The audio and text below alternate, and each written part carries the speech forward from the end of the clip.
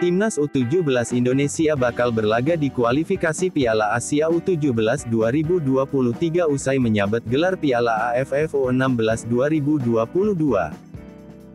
Pada ajang tersebut, Indonesia tergabung di grup B bersama Malaysia, Palestina, Guam, dan Uni Emirat Arab (UEA).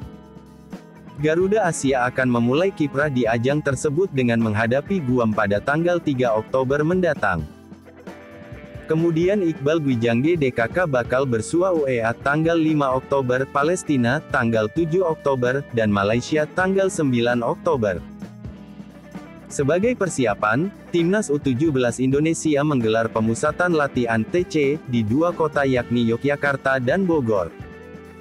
Saat ini, Timnas U17 Indonesia tengah menjalani TC di Bogor setelah sebelumnya digelar di Yogyakarta. Selain TC, skuad besutan Bima Sakti itu juga menggelar pertandingan uji coba melawan PPLP Kemenpora. Laga tersebut berlangsung di Stadion Pakansari, Kabupaten Bogor, Rabu tanggal 28 September tahun 2022, malam WIB. Hasilnya, Timnas U17 Indonesia menang telak dengan skor 5-0 atas PPLP Kemenpora. Kemenangan ini tentu menjadi modal positif bagi Indonesia sebelum berlaga di kualifikasi Piala Asia U17 2023. Usai pertandingan, Bima Sakti mengatakan bahwa anak-anak asuhnya terus menunjukkan perkembangan yang positif.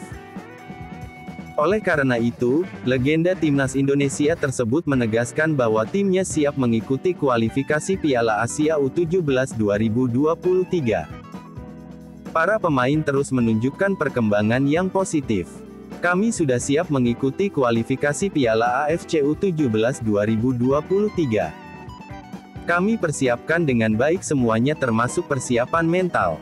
Apalagi main di kandang sendiri. Harus fokus dan tidak boleh meremehkan lawan, kata Bima.